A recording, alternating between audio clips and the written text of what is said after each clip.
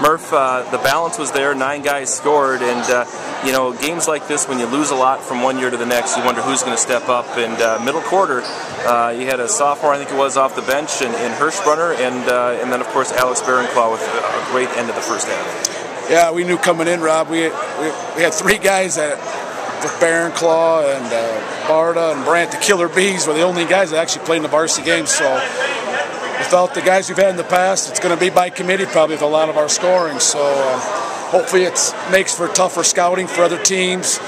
Try to find the hot hand, and like you said, with uh, and and uh, Barrenclaw get it going. That obviously put some separation between them and Broad. Otherwise, it was a tough game. They came in with five new stars, and so did we. So you never know what to expect, but hopefully you can hang your hat on some solid defense. Yeah, and they, and they had seven or eight guys score as well. I thought the difference was in a game like this, with, with that many kids that haven't been in these roles before, who gets the confidence first? You, you guys, uh, second quarter, sure seemed to wrestle that confidence factor away. I thought we were, you know, it seemed like we were we were aggressive first and foremost, and I know Barrenclaw seemed like he got in open court and he uses speed. I mean, he's strong, and uh, guys threw him the ball, so he's obviously going to be a focal point for us. He knows he's got to get better as the other 12 guys do, and uh, it's a good first step, you know. And uh, we're, we're, happy it's homecoming weekend. I should say it's alumni weekend. We got a whole lot of players who lit this gym up, and uh, we're going to have to maybe lay our, you know, lay a little bit more framework as far as how we play defense as this year goes on.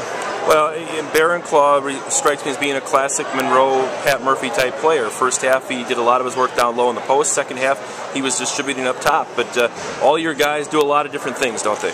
Yeah, they're going to have to, you know, and uh, we try to find a weakness and you try to go at it. And, uh, you know, I think these guys are really unselfish. And uh, passing and catching is an area that we're going to continually try to improve on. I thought coming into the year we might be one of the better passing teams, and uh, they're definitely unselfish. So they're a good group to be around. I'm sure Coach Kammer's happy for a new start too with his crew, and uh, you know it's exciting because right now I don't think a whole lot of people other than people in Monroe think that we're going to do much of anything. So it's a, it's a challenge.